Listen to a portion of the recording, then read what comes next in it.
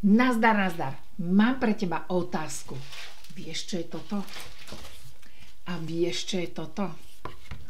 A vieš, na čo sa používa toto? Simsalabim a je z toho toto. Tvoj prvý vlastnoručne upletený košík z pedigu.